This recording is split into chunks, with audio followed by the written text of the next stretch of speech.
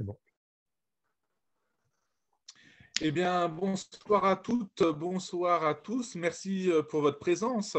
C'est notre dernière visioconférence pour l'année 2022. Ça fait déjà un an, un an que nous avons euh, euh, décidé, en collaboration avec ACM et FITO 2000, d'effectuer ce cycle de, visioconférence sur les soins de support. Aujourd'hui, nous avons le plaisir d'accueillir Madame la professeure Catherine Benetto Pellicero, qui est une experte, qui est physiologiste et biologiste, experte en nutrition santé et qui vient nous présenter le cadre euh, de, l'utilisation des compléments alimentaires.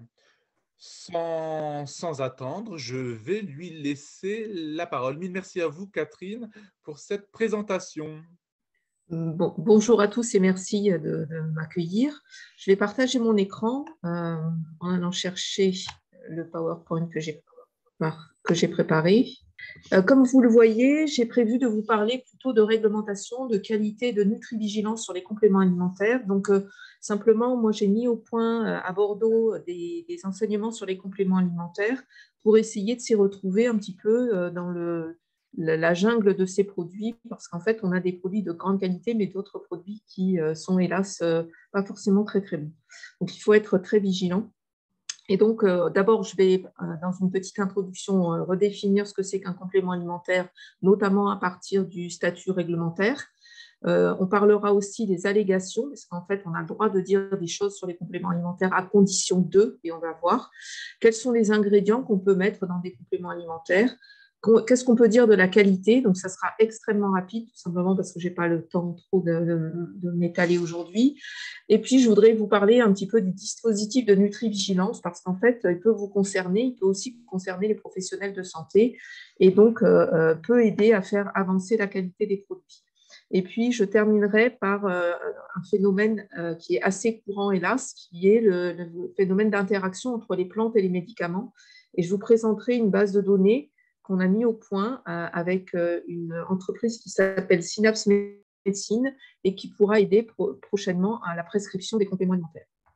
Alors d'abord, euh, en introduction, je voudrais simplement rappeler que le marché des compléments alimentaires est aujourd'hui en pleine expansion, et ça pour différentes raisons. D'abord parce que l'expérience de vie est plus longue, que en fait on a une augmentation du niveau d'éducation des, des, consommateurs, une responsabilité individuelle qui est accrue, ces consommateurs, ils sont désireux d'agir sur leur propre santé. On sait que la nutrition a, un rôle très important à jouer dans la santé. Et puis, à côté de ça, on a aussi euh, la sécurité sociale qui a déremboursé un certain nombre de médicaments, et notamment ceux à, base de plantes. Donc, euh, par ailleurs, les, consommateurs cherchent à utiliser des produits naturels. Euh, et donc, aujourd'hui, on est face à un marché qui explose et en face des acteurs qui souhaitent vraiment euh, assurer la qualité des produits par la sécurité, la gestion de la qualité et la transparence. Quand je dis l'ensemble des acteurs, c'est évidemment euh, les industriels qui produisent des compléments alimentaires, mais qui ne sont pas forcément toujours très bien formés. Ce ne sont pas des pharmaciens, c'est un problème, mais également, évidemment, tous les acteurs qui tournent autour de la santé, les, les pharmaciens et les médecins. Évidemment, les consommateurs qui veulent des produits de qualité. Alors, en France, on a plusieurs autorités sanitaires qui se penchent sur les compléments alimentaires. D'abord, on a l'ANSES, l'Agence française de sécurité sanitaire des aliments, de l'environnement et de la santé au travail. Euh, on a également la DGCCRF, qui est la Direction générale de la consommation, de la concurrence et de la répression des fraudes, qui est à autorité sur tout ce qui est alimentaire. Et on a au niveau européen la European Food Safety Authority, qui s'appelle donc l'EFSA, et qui euh, sur euh, les compléments alimentaires. Mais vous voyez qu'on n'a pas d'agence du médicament, pas d'ANSM qui sont impliqués dans ce processus. Alors, qu'est-ce qu'un complément alimentaire? Alors, il faut savoir qu'il y a une définition réglementaire qui a été donnée en 2002 par euh, l'Union européenne et, qui dit qu'un complément alimentaire, c'est une denrée alimentaire dont le but est de compléter le régime alimentaire normal et qui sont des sources concentré de nutriments, d'autres substances avec un, effet nutritionnel ou physiologique. Donc, il faut savoir que ce sont des faibles doses. Et euh, en 2002, la, Commission européenne n'avait inclus dans les compléments alimentaires que les vitamines et les minéraux. Et donc, euh, euh, toujours donc en 2002, on avait défini le terme denrée alimentaire par toute substance ou produit transformé, partiellement transformé ou non transformé, qui peut être destiné à être ingéré ou raisonnablement susceptible d'être ingéré par l'être humain. Et donc, j'ai l'habitude de dire à mes étudiants, donc ça contient aussi les chewing-gums et l'eau hein, et les boissons, mais euh, qu'en fait, on va trouver dans ces denrées alimentaires des choses comme par exemple de l'écorce de pain. Pourquoi? Parce qu'en fait, pendant la guerre, il est arrivé que certaines personnes, n'ayant plus rien à manger, mangent des racines ou des, écorces. Et donc, euh, euh, en 2006, la, réglementation euh, européenne, enfin la directive européenne, a été transposée en droit français et on a repris en France la même définition des compléments alimentaires, mais on a rajouté d'autres substances à but nutritionnel et physiologique. Donc, on a inclus dans cette définition les vitamines et les minéraux. et on a ensuite rajouté euh, les substances à effet nutritionnel et physiologique, qui sont par exemple des substances chimiquement définies, avec des propriétés nutritionnelles ou physiologiques, mais pas de propriétés pharmacologiques exclusives. Alors, par exemple, dans les, dans les substances euh, chimiques, on va trouver le collagène, on va trouver euh, la glucosamine, donc qui sont a priori des, produits donc, chimiquement définis, mais qui peuvent avoir des, formules légèrement différentes si on prend du collagène euh, de porc ou du collagène de, veau, par exemple. Euh, on a également dans cette définition française inclus les plantes et préparation de plantes, toujours avec des propriétés nutritionnelles et physiologiques. On a dit que normalement, on ne devait pas prendre des plantes avec des euh, effets pharmacologiques. alors, pour s'y retrouver, euh, il faut quand même reprendre aussi euh, la définition du médicament pour bien comprendre la différence entre complément alimentaire et médicament. Donc, le médicament, c'est a priori une substance ou une préparation qui est présentée comme ayant un effet préventif ou curatif sur des maladies euh, humaines ou animales. Et donc, toute substance ou préparation qui peuvent être utilisées ou être administrées à l'homme pour rétablir, corriger, modifier des fonctions physiologiques en exerçant une action pharmacologique, immunologique ou métabolique ou pour établir un diagnostic médical. J'ai l'habitude de dire à mes étudiants euh, le diagnostic médical, pourquoi euh, Je vous renvoie à ce moment-là à la série du Dr House et vous verrez que dans certains cas, pour déterminer à quelle maladie il a affaire, il donne un médicament et il dit si ça marche, c'est que c'est ça, si ça ne marche pas, c'est que c'est pas ça. Alors, pour, pour résumer, on va dire que le médicament corrige, restaure, modifie des fonctions physiologiques parce qu'en fait, au départ, elles sont altérées. ça, c'est la définition du médicament. Euh, et le complément alimentaire, lui, normalement, son rôle, c'est de maintenir des fonctions physiologiques normales. Euh, donc, par exemple, si vous avez un sommeil qui est légèrement altéré, euh, on peut éventuellement envisager de prendre un complément alimentaire avant de se jeter sur des benzodiazépines qui vont avoir éventuellement des effets secondaires plutôt délétères. Alors, euh, en fait, la réglementation de 2002 euh, de l'Union européenne, elle réglementait la notion d'étiquetage, la démarche de notification. En fait, pour mettre un complément alimentaire sur le marché, on n'a pas besoin d'une autorisation de mise en marché comme pour un médicament AMM, mais en fait, il suffit de dire à la DGCCRF, je veux mettre sur le marché un complément alimentaire, je donne euh, ces, caractéristiques générales et l'étiquetage que j'envisage pour ce produit. Et si la DGCCRF n'a pas répondu dans les deux mois, ça veut dire qu'en fait, vous êtes autorisé à mettre ce complément alimentaire sur le marché. En revanche, la réglementation de 2002, elle ne règle pas du tout les mentions d'étiquetage contenant euh, euh, des, compléments alimentaires contenant d'autres substances. Alors, pourquoi est-ce qu'en fait, euh, cette directive européenne est aussi, entre guillemets, light? Parce qu'en fait, il y a plusieurs problèmes qui se posent à l'échelle européenne. C'est d'abord que la notion de plante ou d'aliment traditionnel, elle est variable selon les pays. Et, et ainsi, des compléments alimentaires peuvent contenir des plantes dites médicinales parce qu'en fait, certaines substances sont considérées comme alimentaires dans certains pays ou médicamenteuses dans d'autres. Un exemple tout simple, c'est que l'ail, chez nous, est considéré comme un condiment alors qu'il est considéré comme un médicament en Allemagne. Or, on le reverra, mais les denrées alimentaires sont susceptibles de voyager d'un pays à l'autre en Europe. Et donc, comment on fait quand le statut d'une même plante n'est pas le même et peut éventuellement déborder sur le médicament dans un autre pays? Donc, normalement, encore une fois, on dit que le médicament est censé soigner ou prévenir des maladies, sauf que les compléments alimentaires sont également susceptibles de prévenir des maladies, euh, notamment euh, quand ils possèdent des allégations spécifiques. Alors, l'un des problèmes majeurs que l'on a aujourd'hui sur la réglementation des compléments alimentaires, c'est euh, cette histoire de libre circulation des denrées alimentaires sur le, territoire européen. Donc là, le texte que je vous ai mis est tiré directement d'un texte législatif. Et en fait, euh, euh, il dit que euh, les réglementations de, tous les pays doivent être harmonisées pour justement qu'il n'y ait pas de concurrence déloyale et de, problèmes juridiques à l'entrée dans certains pays. Le problème, c'est que les compléments alimentaires, parce que justement ce statut entre aliments, denrées alimentaires, médicaments est relativement flou en fonction des pays, n'est pas, réglementé par un règlement qui s'imposerait de, facto à tous les pays européens, mais en revanche est réglementée par une directive. Et la directive, elle est adaptable en droit local par chacun des États membres, et donc euh, elle fait l'objet d'une transposition, d'une adaptation, ce qui fait qu'on va avoir au final euh, des statuts qui peuvent être légèrement différents d'un pays à l'autre. On va voir ça euh, tout à l'heure quand on regardera les ingrédients qu'on peut utiliser dans les compléments alimentaires. Alors, ce qu'il faut savoir, c'est que euh, on peut légalement exprimer une allégation sur un complément alimentaire. Euh, il existe deux types d'allégations, des allégations dites nutritionnelles et des allégations de santé. Donc, l'allégation la, plus, la plus basique, l'allégation nutritionnelle, c'est en fait, elle, mentionne la présence ou l'absence ou la teneur réduite d'un nutriment ou d'une substance euh, qui est censé présenter un bénéfice nutritionnel ou physiologique scientifiquement prouvé. On donnera un exemple tout à l'heure.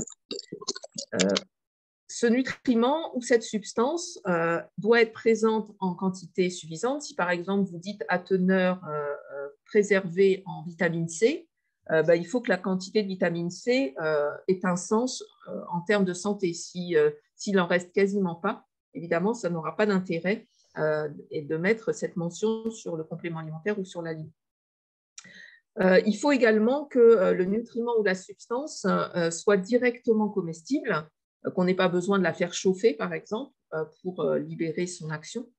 et il faut également que les conditions d'utilisation soient respectées.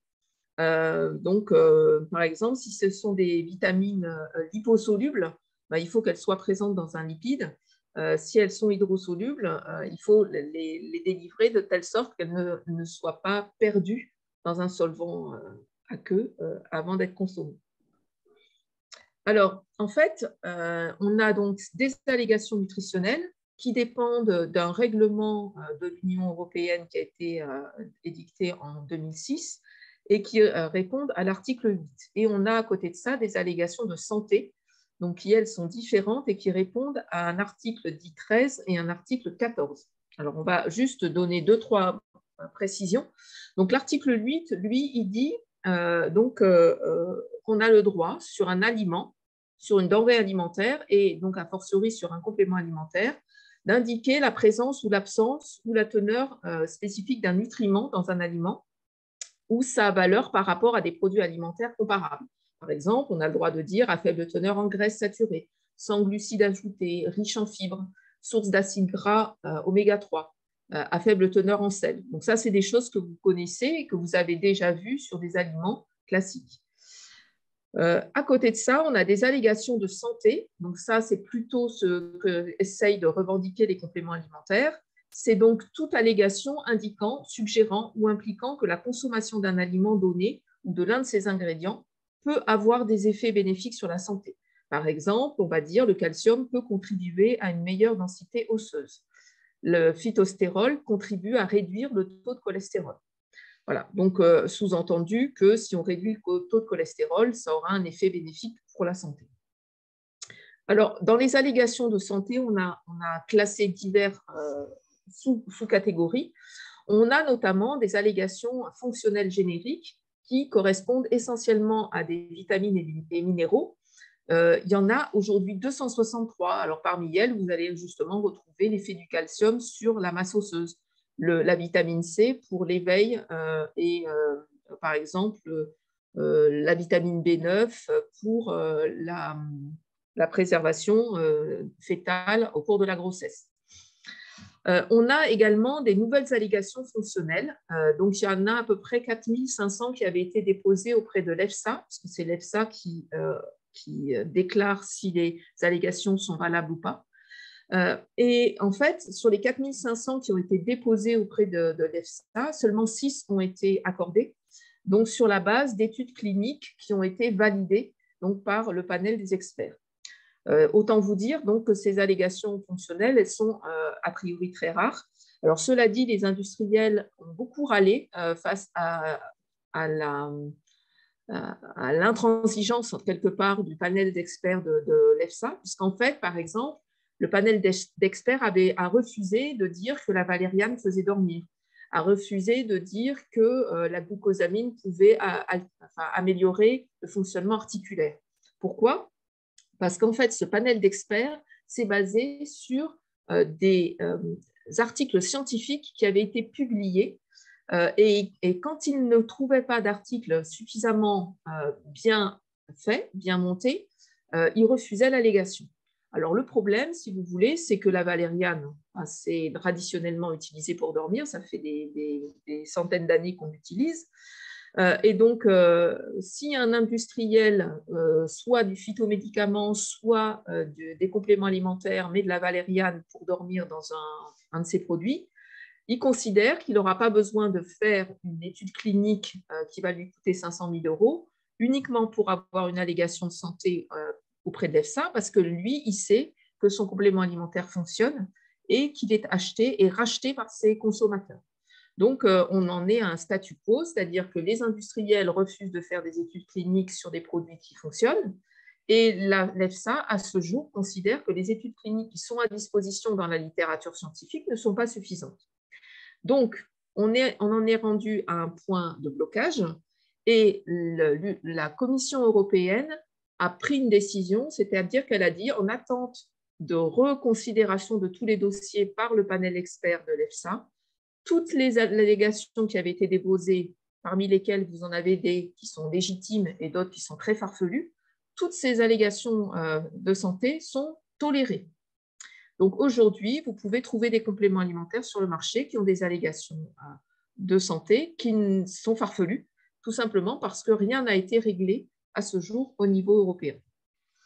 Enfin, on a des allégations qui existent quand même, quelques-unes, euh, sur la réduction d'un risque de maladie pour les adultes. Ça répond donc à l'article 14.1a et actuellement il y en a 18. Donc euh, elle porte notamment sur des réductions de risque de maladie attribuées à certaines vitamines, à des mélanges de phytostérol, de stanol, de bêta-glucane par exemple.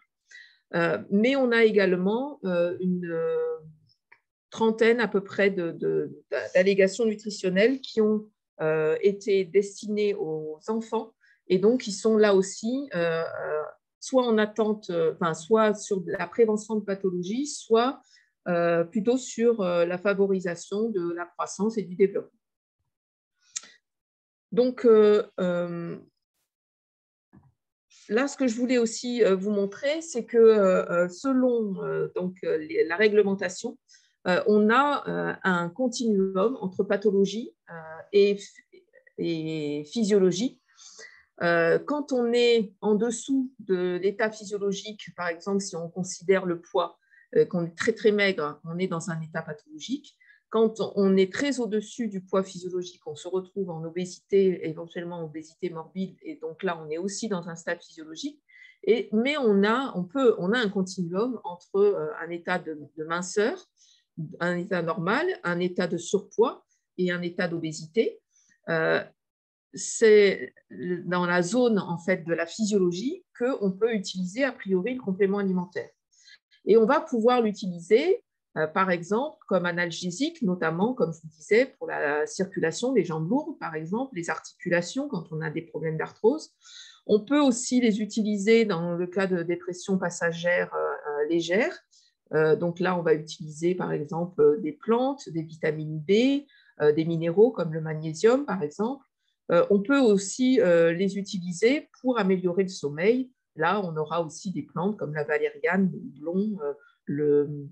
Euh, comment dirais-je euh, Ça ne me, revient pas. La mélatonine. On a aussi des indications pour la physiologie, donc limiter la perte osseuse à la ménopause, par exemple avec la vitamine D et le calcium, le magnésium, utilisé pour renforcer l'immunité, donc là ce serait plutôt la vitamine D, euh, les minéraux, les plantes, euh, mais aussi des probiotiques par exemple, euh, utilisé aussi pour préparer la peau au soleil, comme par, exemple le lycopène ou plus globalement les caroténoïdes. Alors, ce qu'il faut savoir, c'est qu'on euh, on a certains ingrédients qu'on peut autoriser dans les compléments alimentaires. On a notamment des additifs, hein, des, arômes, euh, des colorants, euh, des stabilisants. mais on a aussi des ingrédients qui sont censés être actifs. Et notamment, alors en France, on a décidé de proposer une liste positive de plantes utilisables dans les compléments alimentaires. Et ça, ça a été réglementé en juin 2014 donc, euh, rendez-vous compte, euh, la définition du complément alimentaire disant qu'il peut contenir des plantes est arrivée en 2006 en France et la liste positive des plantes utilisables en 2014, pratiquement huit ans plus tard.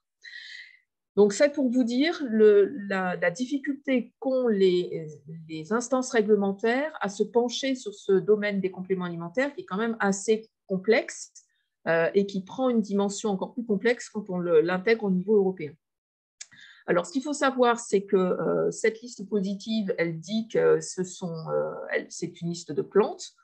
Alors, le problème, c'est que les plantes, normalement, contiennent les, champignons et les algues, mais là, en l'occurrence, dans le premier article, on dit que cette, cette liste n'est pas applicable aux champignons, aux algues et aux lichens. Et donc, on, entend par plante, normalement, tout, ce qui est dans plante, sauf justement dans l'arrêté les champignons, les algues et les lichens. On parle de matière première, et là on dit que euh, la matière première, ce sont des plantes entières, des parties de plantes, y compris des cellules en culture, qui peuvent être non transformées ou euh, transformées. Euh, dans la définition de 2014, on excluait les huiles essentielles dans les compléments alimentaires parce qu'en fait, on considérait qu'elles étaient difficilement euh, définies chimiquement et parfois elles contenaient des terpénoïdes et des alcaloïdes toxiques. Alors, le problème, c'est que euh, donc, euh, nos compléments alimentaires sont faits par des fabricants qui doivent s'engager comme dans tout fabricant de denrées alimentaires à ce que leurs leur, leur produits soient utilisés de façon sûre et non préjudiciable à la santé. Euh, et normalement, ils ne doivent pas être utilisés comme des médicaments par fonction.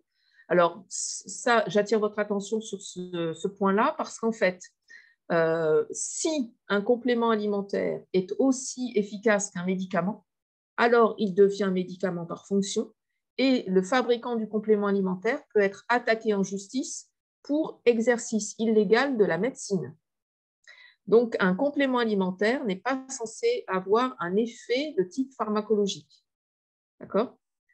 Donc, euh, la réglementation euh, qui avait été euh, mise en place en juin 2014 est entrée en application en janvier 2015. Le problème, c'est comme je vous l'ai dit, on est dans Europe et qu'on a normalement la libre circulation des denrées alimentaires en, en Europe.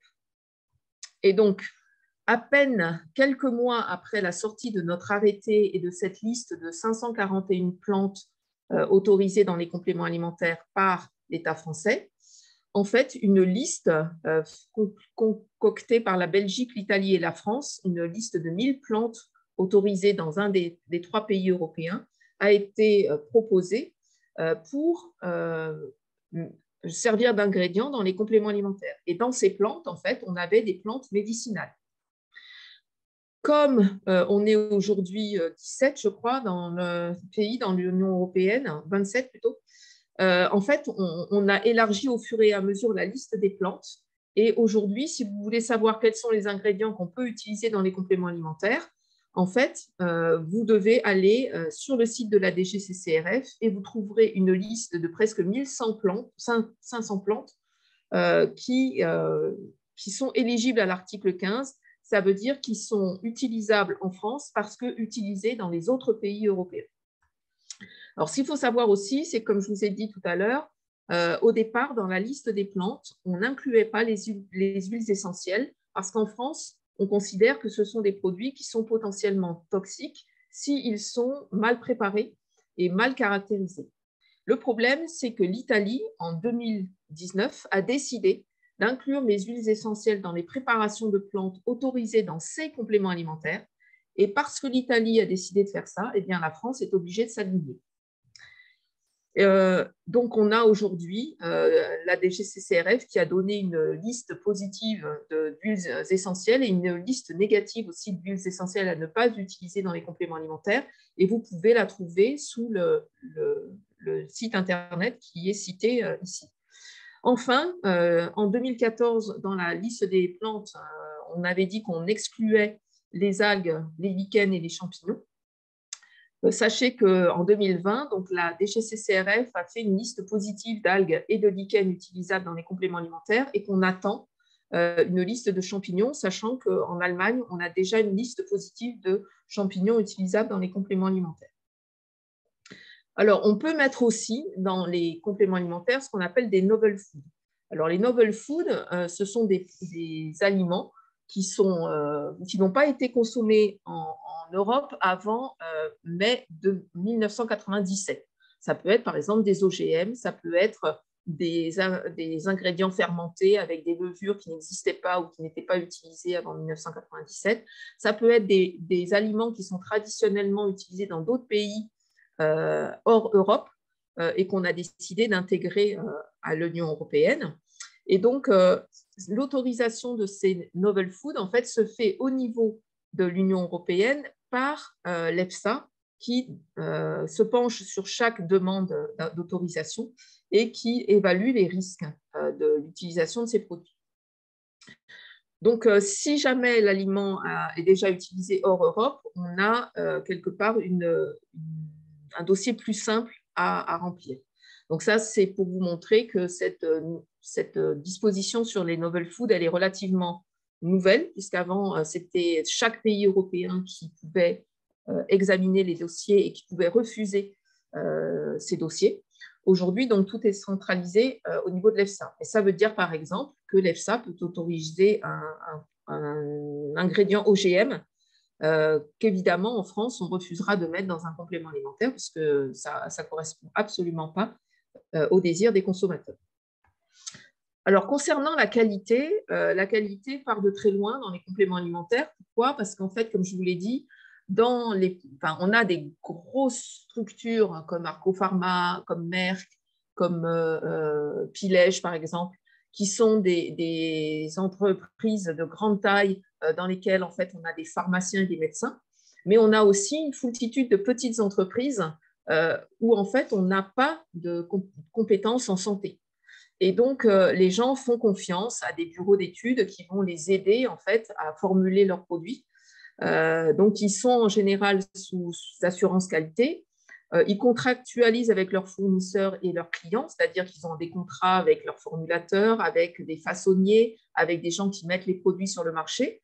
Le problème, c'est que chacun de ces maillons de la chaîne n'a pas la responsabilité des produits qu'il met sur le marché.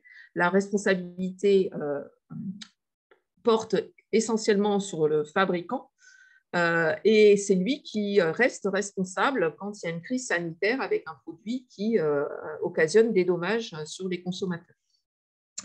Et donc, euh, du fait, toujours pareil, de cette position du complément alimentaire entre médicaments et aliments, mais plutôt donc officiellement dans la catégorie denrées alimentaires, on a deux positions qui sont possibles une position minimaliste de certains fabricants de compléments alimentaires qui suivent vraiment la réglementation des aliments, qui achètent des ingrédients alimentaires sur le marché mondial, y compris en Chine, où on n'a pas forcément une traçabilité très importante.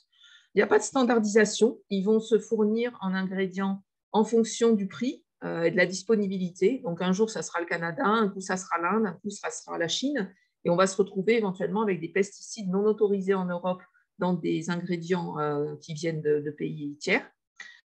Euh, l'efficacité n'est pas garantie parce qu'en en fait, on, se fie à ce que dit le fournisseur sur la teneur en principe actif, mais on vérifie pas forcément. Et donc, au final, ce type de produit peut amener la tromperie du consommateur parce qu'en fait, on ne connaît pas très très bien l'ingrédient et on ne sait même pas s'il contient la, teneur euh, requise en principe actif. Et de l'autre côté, on a des gens bah, comme justement ces gros laboratoires pharmaceutiques dont je vous parlais tout à l'heure, Merck, euh, euh, Pierre Fabre, euh, Arco Pharma, Pilège, etc., qui eux vont, enfin, jouent la, réputation de leur laboratoire sur les compléments alimentaires et donc vont avoir des, des, ingrédients tracés, parce qu'ils ont l'habitude de travailler comme ça, des ingrédients standardisés, donc ils vont vérifier, parce qu'ils ont les outils analytiques en interne, euh, la quantité de principes actifs. Euh, ils pourront garantir les substances actives euh, dans leurs compléments alimentaires. Ils pourront même, parce qu'ils ont les moyens, faire des études cliniques pour vérifier donc l'efficacité de leurs produits. Mais évidemment, ça, ça demande des coûts élevés. Donc, ça peut être réparti quand on est sur une grosse entreprise sur d'autres secteurs, mais ça exige évidemment un retour sur investissement. Cela dit, euh, là, en l'occurrence, on va avoir du marketing, mais on va avoir aussi le bouche à oreille entre les, les, consommateurs qui va euh, jouer et, qui va induire l'achat et le rachat du produit. Alors, le problème, c'est que dans cette jungle, finalement, euh, pour les professionnels de santé, le conseil reste compliqué parce qu'en fait, tout le monde a plus ou moins un discours qualité et santé, mais en fait, tout le monde ne l'applique pas correctement. Et donc, enfin, en fait, en France, euh, euh, on a décidé de mettre en place un système dit de nutri-vigilance euh, qui a été créé en 2010 et qui est dédié à certains aliments. Donc, vous le voyez ici en bas, les compléments alimentaires, les aliments supplémentés en nouveaux ingrédients. Là, par exemple, c'est du Red Bull avec de la carnitine dedans. Des nouveaux aliments, des insectes, ou des aliments destinés à une alimentation particulière, comme par exemple les formules infantiles pour les bébés, ou par exemple les régimes, les produits de régime pour la minceur. Et donc, euh, ce système de nutri-vigilance, il a été intégré dans le système général de veille sanitaire. Donc, euh, on va le retrouver à côté de la toxicovigilance, de l'allergovigilance, euh, etc. Et son but, en fait, c'est d'identifier rapidement tous les effets délétères aigus, d'aboutir à des recommandations de mesures correctives et préventives par l'action publique. Et en fait, ce, ce système de nutri-vigilance va impliquer des professionnels de santé euh, ça va faire l'objet d'une déclaration à l'ANSES d'effets indésirables et des études d'imputabilité des effets. Alors, les, études d'imputabilité, en fait, elles sont là pour vérifier euh, que euh, l'effet délétère que l'on a observé est bien imputable à la consommation de l'aliment, y compris de du complément alimentaire, et que c'est pas euh, on ne fait pas une crise de foie en, consommant un complément alimentaire euh, si on a euh, juste auparavant mangé 3 kg de chocolat ou consommé des, huîtres pas fraîches. Alors, comment ça fonctionne? Donc, c'est l'ANSES qui est responsable de ce dispositif de nutri-vigilance. Donc, on part à la base du consommateur de compléments alimentaires qui déclare un effet indésirable et qui, en règle générale, quand il est malade, se tourne vers son professionnel de santé. Alors, ça, c'est quand il est vraiment malade, parce qu'on sait que les professionnels de santé ne sont pas toujours accessibles comme on le souhaiterait. Donc, euh, euh, si euh, c'est un effet, on va dire, style bah, justement un petit désordre intestinal ou alors des plaques rouges ou des choses comme ça qui apparaissent, on peut saisir directement l'ANSES. sinon, ce sont les professionnels de santé, donc médecins, pharmaciens, qui vont saisir l'ANSES. Mais comme les consommateurs aussi, des fois, renvoient des messages euh, aux entreprises, ce sont les entreprises qui peuvent déclarer euh, les effets indésirables à l'ANSES. Donc, quand, l'ANSES euh, voit arriver ces effets indésirables, elle les, stocke, elle les garde et elle les, trie. Donc, en fonction d'une part de la sévérité des, effets. Donc, si c'est des effets de type décès, hein, si, ça induit la mort du consommateur, le, dossier est traité en priorité. Si en revanche, c'est des petits désordres gastro-intestinaux ou des plaques rouges ou des choses comme ça, on va attendre d'avoir peut-être plusieurs cas de, du même ordre pour pouvoir saisir ce qu'on appelle le groupe de travail de nutrivigilance. Donc, le groupe de travail de nutrivigilance va examiner tous les cas qui ont été rapportés à l'ANSES, il va saisir les médecins qui vont statuer sur ces effets-là, déterminer un petit peu si l'évolution, euh, notamment, est compatible avec ce qu'on sait de la médecine.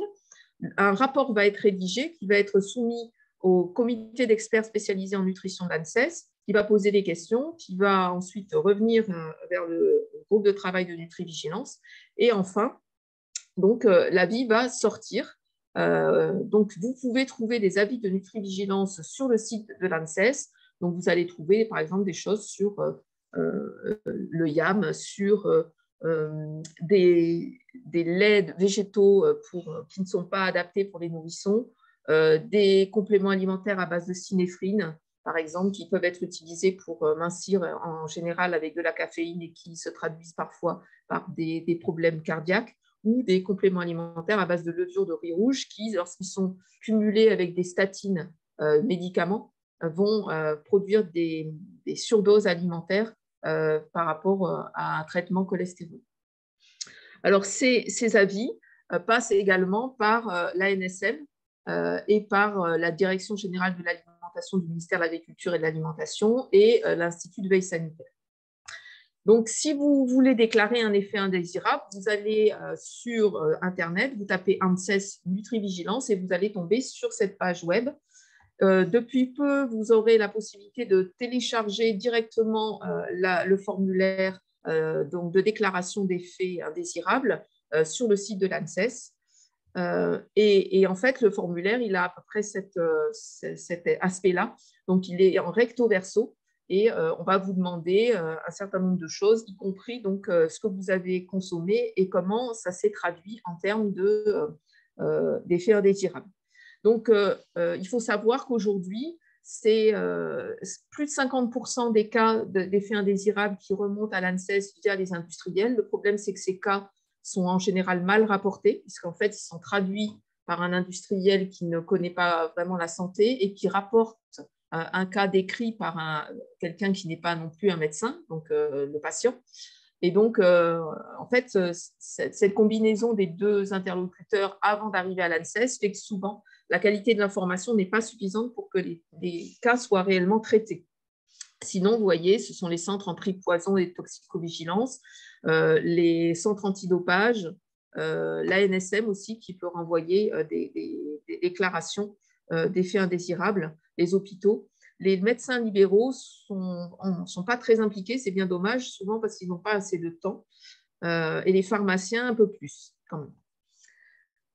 Donc, pour vous montrer un petit peu à quoi ça ressemble, ici en 2019, on vous montrait que 95% des cas de nutrivigilance qui sont aujourd'hui traités par l'ANSES, donc ici, correspondent à des compléments alimentaires.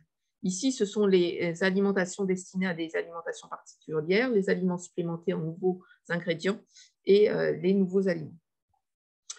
Donc, en termes de sévérité, heureusement, la majorité des effets sont peu sévères donc euh, le pronostic vital n'est pas engagé. En revanche, vous avez quand même 3,5% euh, des cas où euh, on est en sévérité 3, donc on a été obligé d'aller en réanimation avec une menace du pronostic vital, et 4,8% des cas dans lesquels on, était en réanimation.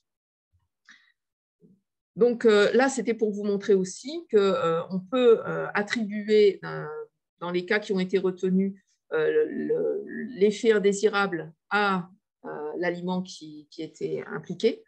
Donc, euh, et notamment, euh, on a une majorité d'imputabilité possible ou vraisemblable. Euh, alors, très vraisemblable, c'est faible. Enfin, le, pourcentage est faible parce que pour avoir une imputabilité très vraisemblable, il faut avoir pris un complément alimentaire, déclaré un effet indésirable, arrêté le complément alimentaire, arrêté l'effet indésirable et repris le complément alimentaire pour reprendre un effet indésirable.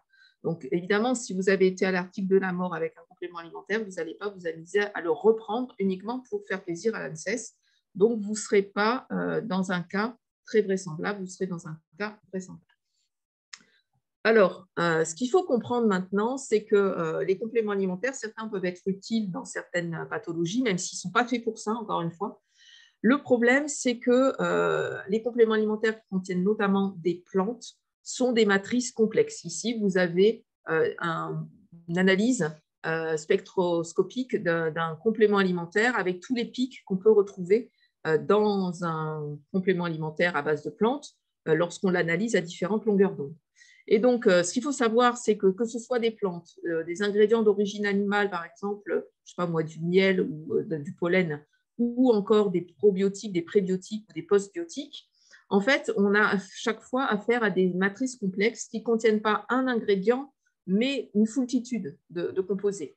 Et ce qu'il faut comprendre, c'est que si un ingrédient complexe est actif, c'est qu'en fait, le totum de cet ingrédient est actif toutes les molécules concourent peu ou prou à l'efficacité euh, de ce complexe.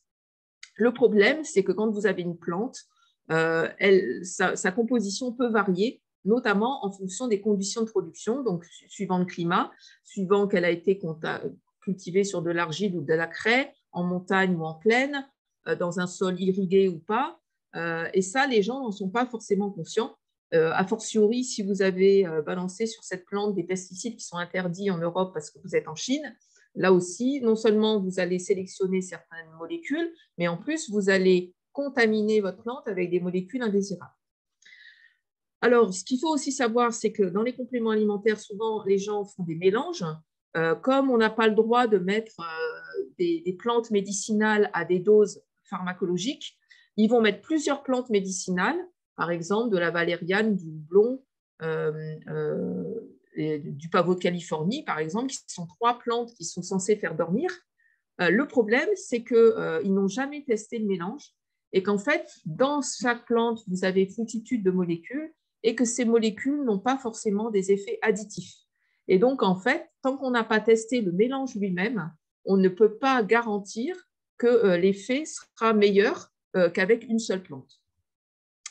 Euh, par ailleurs, quand euh, les, molécules qui sont dans les plantes voyagent dans votre intestin et dans votre foie, euh, ils sont confrontés à, de nombreuses enzymes et ces molécules naturelles qui sont présentes dans les plantes peuvent agir sur les enzymes qui, qui, sont dans votre foie ou dans votre intestin et les perturber. Comme ces enzymes prennent également en charge tous les xénobiotiques, y compris les médicaments, en fait, les interactions des molécules naturelles euh, avec ces enzymes peuvent interagir avec les médicaments. Et donc, soit euh, augmenter euh, la dose des médicaments qui passent dans votre corps et vous vous retrouvez en surdosage, soit au contraire, empêcher le médicament d'entrer dans votre corps. Et là, du coup, vous vous retrouvez en sous-dosage. Et si le médicament est indispensable à votre survie, c'est quand même très embêtant. Alors, ce qu'il faut savoir, c'est que nous, à Bordeaux, avec les étudiants euh, on a travaillé pendant cinq ans à l'élaboration d'une base de données qui recense des interactions entre les plantes et les médicaments. On les a euh, triées, on les a cotées en fonction de leur fiabilité. Et on a travaillé avec une entreprise qui s'appelle Synapse Médecine, qui a déjà développé un outil d'aide à la décision pour les médecins pour éviter qu'ils prescrivent ensemble deux médicaments qui pourraient agir en interaction et s'annuler. Euh, et Synapse Médecine a décidé donc de proposer cette nouvelle base de données d'interaction plantes-médicaments aux professionnels de santé, donc les médecins et les pharmaciens, et euh, aux professionnels des compléments alimentaires. Donc, euh, les objectifs de cette mise à disposition de l'information sont d'aider les médecins et les pharmaciens à prescrire des compléments alimentaires à base de plantes en sécurité, de permettre aux professionnels des compléments alimentaires de mentionner des recommandations d'utilisation, par exemple, ne pas utiliser avec de l'aspirine, ne pas utiliser avec, euh, euh, je ne sais pas moi, bah, justement des, statines, de limiter les cas de nutri et de pharmacovigilance qui euh, portent tort finalement à l'ensemble de la, réputation des compléments alimentaires et d'établir une relation de confiance finalement avec les prescripteurs. L'idée aussi, c'est que si votre pharmacien vous voit arriver avec une ordonnance euh, de votre médecin qui vous prescrit une statine et qu'à côté de ça, vous allez prendre une plante euh, dans un complément alimentaire qui fait dormir, mais la plante, elle est mentionnée dans la base de données comme ayant des interactions avec le médicament, il va vous orienter vers un autre complément alimentaire qui fait dormir. Voilà. Donc, la base de données qu'on a créée s'appelle Fiji. Elle, elle, est originale dans, le, sens où elle est uniquement axée sur des effets démontrés chez l'homme euh, elle prend en compte la qualité des études qui ont montré les interactions. Elle intègre un maximum d'informations sur la plante incriminée, son identité botanique, la dose euh, qui a été utilisée, la teneur en substance active. Elle prend en compte la réitération des effets. Ce n'est pas la même chose si un effet a été rapporté une seule fois, même si c'est dans une bonne étude, que s'il a été rapporté 25 fois dans, 25 études différentes. Euh, c'est forcément plus fiable. Elle prend également en compte l'intensité de l'effet. Ce n'est pas la même chose si on a une intensité de, diminution, par exemple, de, de la disposition du médicament de 30% ou si au contraire, on a diminué de 80% euh, la dose de médicament dans votre corps. Et donc voilà la, publication qui a été faite euh, de cette base de données.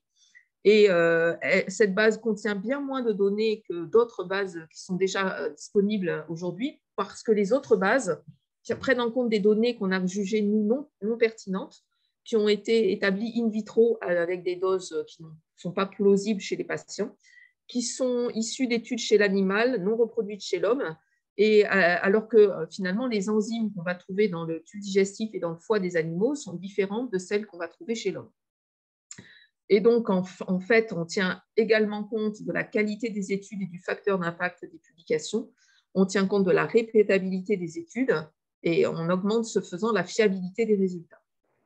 Donc, ce qu'il faudra retenir de cette intervention, c'est d'abord que les compléments alimentaires ne sont pas des médicaments et du coup que leur qualité n'est pas toujours aussi fiable que celle des médicaments parce qu'en fait, euh, les, obligations réglementaires ne sont pas les mêmes. Donc, euh, les compléments alimentaires peuvent contenir des plantes, euh, y compris des plantes médicinales et des nouveaux aliments qui sont censés être réglementés euh, alors même si aujourd'hui, au niveau des allégations, au niveau de l'EFSA, vous avez compris qu'on est euh, dans un flou complet. Les compléments alimentaires peuvent bénéficier d'allégations de santé, mais uniquement normalement s'ils ont fait la preuve de leur efficacité auprès de l'EFSA. Euh, L'État a mis en place un système de nutrivigilance porté par l'ANSES et notamment pour les compléments alimentaires. Donc, je vous invite, si jamais vous avez des soucis à euh, rapporter euh, les cas d'effets indésirables à l'ANSES, parce que ça aidera à faire euh, avancer la qualité des produits. Donc, ce dispositif repose sur un système de déclaration et une méthode d'imputabilité, et il permet d'alerter dans les cas d'incidents de santé répétés ou très graves. On a l'année dernière, par exemple, statué par trois fois sur des cas soit de transplantation hépatique, soit de décès de patients pour justement des, problèmes hépatiques la plupart du temps. Donc, euh, euh, aujourd'hui, euh, très rapidement, les causes qui sont à l'origine des effets toxiques des compléments alimentaires sont la contamination des extraits de plantes, alors par, par une autre plante, par, par des, des, pesticides ou par d'autres composés comme des métaux lourds, par exemple, ou des mycotoxines, des erreurs sur les identités de la plante, et notamment quand on va se fournir en Chine, des effets de type pharmacologique qui conduisent à des interactions médicamenteuses, et c'est loin d'être euh, négligeable comme type de cas, et euh, également des profils à risque dans la population générale, des gens qui ont un génotype particulier, qui vont réagir particulièrement avec une substance. Donc, euh, il peut y avoir des interactions entre les plantes médicinales et les médicaments, ça c'est très important. Donc, si vous êtes sous un traitement dont vous dépendez pour votre survie, faites très attention euh, aux plantes que vous prenez parce qu'en fait, euh, vous pouvez euh, annuler complètement le traitement médicamenteux qui vous est proposé. Et une base de données permettra bientôt aux médecins et aux pharmaciens d'éviter ces interactions entre notamment les plantes et les médicaments. Voilà. Je vous remercie de votre attention. Je ne sais pas trop combien de temps j'ai dit. Alors, moi, j'en connais un d'herboriste. Il a d'ailleurs participé à notre euh, publication sur les interactions plantes-médicaments. Donc, c'est M. Petit et euh, l'herboristerie qui tient à Bordeaux s'appelle RBO. Euh, lui, il est pharmacien d'origine. Il a travaillé dans l'industrie. Il a même travaillé aussi sur des bases de données, alors plutôt d'interactions médicamenteuses dans le passé. donc, ben, lui, en tant qu'herboriste, il vit à Bordeaux et il a, son, entreprise qui fonctionne. Donc, je ne comprends pas pourquoi vous me dites que les herboristes ne sont pas autorisés et disparaissent parce que lui, bah, fonctionne. Donc, Disons que moi, ce que j'ai compris, c'est qu'en fait, par exemple, un herboriste n'a pas le droit de vous, donner des conseils légalement. En fait, il n'est pas en droit de vous donner des conseils. Voilà, moi, ce que j'ai compris en essayant de alors lui, il est, il est pharmacien, donc c'est peut-être différent, effectivement. Peut-être qu'un euh, herboriste doit être accompagné d'un pharmacien pour pouvoir euh, prescrire des choses euh, ou vous donner des conseils, en tout cas. Mille merci pour cette, cette expertise, Catherine, à la fois réglementaire, technique. Mille merci, on va, on va vous libérer. Et puis, on garde le contact, hein, Catherine. Hein. D'accord. Merci beaucoup. Au revoir. Au revoir. Merci, au revoir. Oui, bonsoir. Euh, voilà, moi j'ai une précision en fait par rapport à euh, aux questions qui ont été posées. Il existe un livre qui s'appelle Cancer, les plantes à éviter ou pas. Ah, et c'est rédigé, je ne sais pas si vous le connaissez. Non, non, non. Euh, voilà. Et donc, plante par plante, il est indiqué voilà, les vertus, mais aussi les, les, les, les plantes qui altèrent les traitements augmentent leur toxicité, stimulent la tumeur. Voilà. Je vois qu'il y a une préface du docteur, du professeur Ben Sadoun, c'est ça? Oui, tout à fait, qui est oncologue et radiothérapeute. Oui, oui, absolument, à Nice. Voilà, vous connaissez. Ah oui, on connaît bien, oui. Voilà, et, de... Moi, de mon point de vue, euh, dans ce que je vois, notamment quand il y a de l'inflammation intestinale, euh, que ce soit alimentaire ou sur des compléments, il faut faire attention aux choses qui sont prises sur le long cours parce que s'il y a une perméabilité intestinale, ça traverse la paroi de l'intestin, ça part dans le sang et ça, crée des réactions inflammatoires. Et ça, on peut l'avoir même avec des aliments les plus naturels qui soient. Donc, euh, voilà, il faut toujours être prudent. Et le conseil que je pourrais donner, euh, voilà, euh, si on veut se faire accompagner, c'est de voir s'il n'y a pas quelqu'un qui, pratique la kinésiologie, un kinésiologue à côté de chez soi, Parfois, voilà, ils vont tester les, compléments un par un sur la personne et parfois les compléments ensemble. Et moi, j'ai eu euh, le cas d'un jeune homme, sa maman, euh, on, a, voilà, on avait mis en place le protocole métabolique et elle ne sentait pas le Garcinia première, c'était une séance en visio, donc je, lui ai dit pourquoi pas. Donc, et elle, me dit, bah, écoutez, je vais me déplacer au cabinet et on va tester. Donc, en attendant, elle ne le donne pas à son fils. Et euh, elle vient au cabinet et euh, moi, je le teste en kinésio, ça passe pas. Mmh. Et son fils a quand même eu euh, voilà, une amélioration de son état, juste en prenant les autres compléments. Mais, Et donc, c'est vrai que parfois, mmh. on ne sait pas, mais c'est vrai que c'est compliqué d'y voir clair dans tout ça, mais il ne faut pas hésiter à demander conseil. Et puis, voilà, quand l'oncologue est, est, ouvert, il faut, faut, être transparent aussi, parce qu'ils savent aussi. Il y a des, ils ont des listes aussi parfois à l'hôpital euh, de, ce qu'il ne faut pas prendre. Ah bah, il y a juste une analyse toxicologique à faire et puis vous le voyez dans la prise de sang, madame. Donc, euh, il oui. n'y euh, a, a, a, pas lieu à, tergiverser. Hein. Lorsqu'on on, doute de ce qu'a pris un, patient, c'est la biologie qui va, qui va parler. Hein. C'est clair. Hein. Euh, vous pouvez, excusez-moi, juste remettre le, le comment le Donc, c'est cancer, voilà. cancer. Et donc, mhm. c'est Lily Cara, L-I-2-L-I-C-A-R-A-T. Euh, les plantes à éviter ou pas. Alors, comme je connais très bien le, le professeur euh, René Jean Sadoun, je vais lui demander parce que s'il a participé à, ce, à, cet ouvrage. D'accord. Oui, merci, merci euh, Daniela. Merci. Voilà. Beaucoup. Alors je, je, précise que Daniela est naturopathe. Hein. Merci beaucoup à tous. Et puis euh, bah, aujourd'hui, on était nombreux, c'était agréable. C'était bien. Merci beaucoup. Et bonne, bonne fin de journée. Merci à vous. Merci, au revoir. Au revoir. Merci.